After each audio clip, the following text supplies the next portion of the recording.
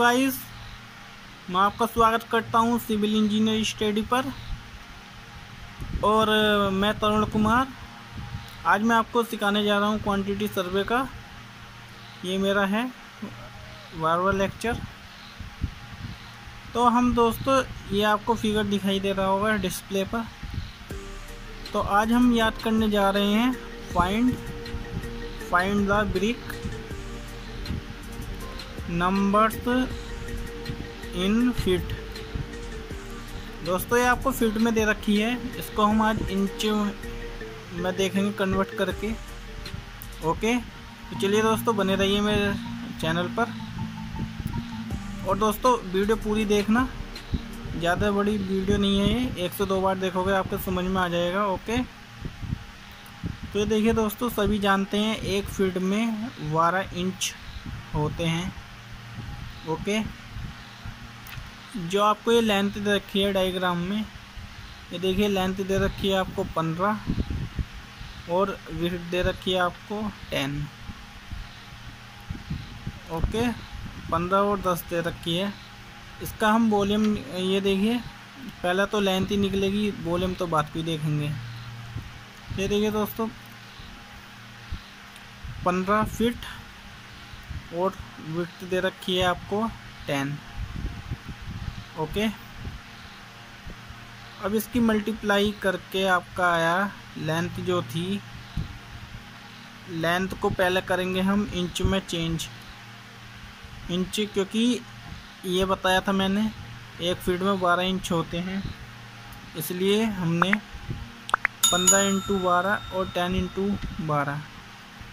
अब विथ दे रखी है आपको टेन और एक इंच एक फीट में होते हैं, बारह इंच अब इसकी हमने कैलकुलेशन करी पंद्रह की, बारह से। तो आपको प्राप्त हुआ वन एटी इंच और टेन की ट्वेल्व से की तो एक सौ बीस इंच ओके अब निकालेंगे दोस्तों वॉल्यूम सभी जानते हैं L into B length into bit length आई आपकी 180 इंटू बिट दे रखी है आपको 120 इसकी मल्टीप्लाई करके आपका आया है इक्कीस हज़ार छः सौ इंच। अब हम इसमें देखेंगे ब्रिक। ब्रिक यूज़ इन डेढ़ सौ फीट। स्क्वायर ये आपको मिलेगा यस कोड टेबल में से। याद रखना इसको। और एक फॉर्मूला और होता है, ये देखिए। वन ब्रिक वॉल्यूम आठ की फोर से मल्टीप्लाई कराएँगे एट की तो आपको बत्तीस इंच आ जाएगा ये। ये इसका स्टैंडर्ड साइज़ होता है, बत्तीस इंच वन ब्रिक का। ओके याद रखना।